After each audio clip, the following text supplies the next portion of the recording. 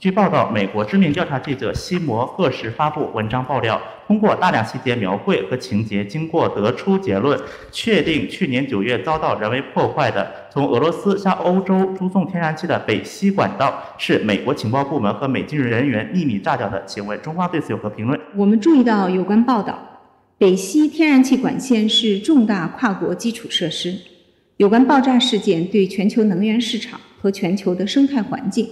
产生重大负面影响。如果赫什的调查报告属实，这是不可接受，并且必须受到追责的行为。美方应当向世界做出负责任的交代。我想强调的是，中美经贸合作的本质是互利共赢的。多年来，中国企业对美国的投资，为促进美国的国内就业和经济发展做出了重要贡献。泛化国家安全概念，将经贸投资问题政治化的言行。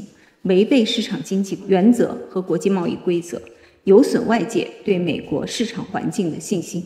据报道，根据美国与日本和荷兰最近达成的协议，美国与半导体相关的对华出口管制将扩大到日本和荷兰的企业。那么有评论就认为说，美国以本国的法案限制别国的对华出口，这是典型的长臂管辖。请问中方对此有何评论？美国长臂管辖是美国政府以综合实力和金融霸权为后盾。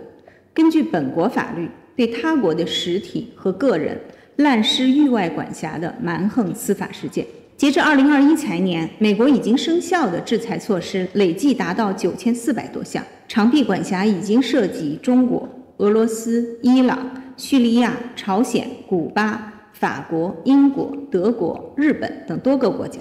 美国历届政府滥用经济胁迫手段，将制裁作为解决外交问题的首选。非但没有效果，还造成了人道主义灾难。据美国布鲁金斯学会的分析估计，在伊朗疫情最严重的时期，美国的制裁影响可能导致了多达1.3万人死亡。为了维持经济和科技领先地位，美国泛化国家安全概念，滥用出口管制措施，人为的干扰正常经贸往来，破坏全球产供链稳定，同美方一贯标榜的市场经济和公平竞争原则背道而驰。近年来，美国滥用长臂管辖的门槛不断降低，力度空前扩大，打击对象的范围也在不断扩大。这种做法严重损害了国家主权平等原则，侵蚀以联合国为核心的多边主义国际秩序，扭曲了正常的国际贸易，也极大地损害了各国企业的利益。美方应当停止非法的单边制裁和长臂管辖。切实履行作为安理会常任理事国的国际责任。关于一支中国无人民用飞艇因为不可抗力误入美国领空的意外事件，中方已经多次说明情况，阐明立场。美国国会的有关决议案纯属政治操弄和炒作，中方对此强烈不满，坚决反对。还有其他的问题吗？天的记者会到此结束，谢谢大家，祝大家周末愉快。